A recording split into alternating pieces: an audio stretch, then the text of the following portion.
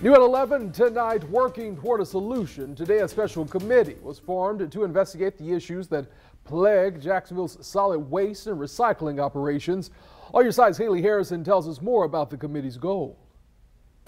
The Special Committee on Solid Waste will be looking at a wide variety of issues and potential solutions, including 1. The possibility of changes to the recycle program. Ideas include eliminating glass items and restarting curbside pickup to a once a month service. Two, the possibility of waste transfer stations that are intended to reduce the amount of time collection trucks spend driving to the Trail Ridge landfill on the west side. Three, increasing the solid waste user fee, which right now doesn't cover the cost of services. And four, reviewing contracts with solid waste companies because committee chair Ron Salem says their rates are all different since their contracts all begin and end at different times. We are looking at uh, increasing the rates potentially for two of the haulers that are really suffering right now.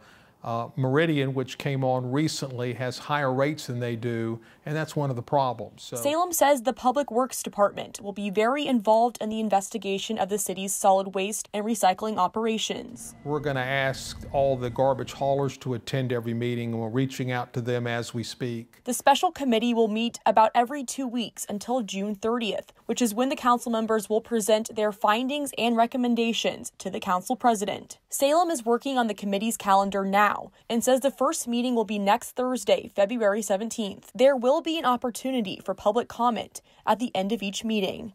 I'm Haley Harrison, First Coast News, on your side.